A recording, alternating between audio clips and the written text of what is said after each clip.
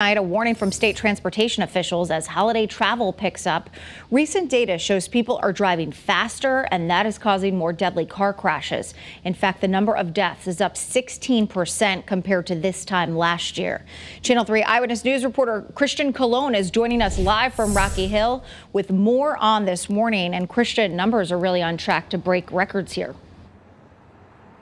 Yeah, they are from speeding to driving and texting, and then you add the pandemic stress to it. So now you're aggressively driving. So transportation officials say just take a deep breath and focus on safety.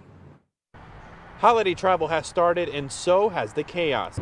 I feel that people are driving very fast. They don't slow down. They don't slow down for stop signs merging on. They're always going just three lanes.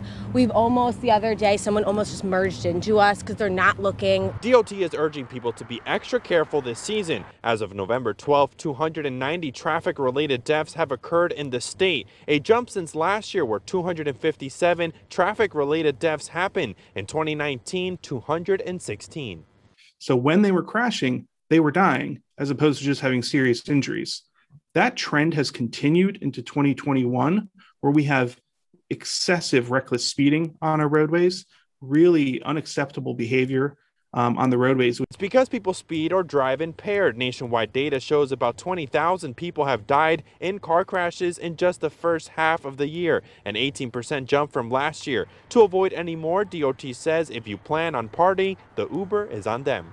$10 off an Uber ride um, between uh, starting tomorrow and running through January 14th between the hours of 5 p.m. and 4 a.m. to encourage people to get a ride home. Um, they just have to use the code Save the Night CT. And state police also says they are stepping up patrol because they're noticing more people are driving drunk or at times uh, using drugs. They also say that if you see anyone driving recklessly to call 911. In Rocky Hill, Christian Colon, Channel 3 Eyewitness News. Christian, thank you.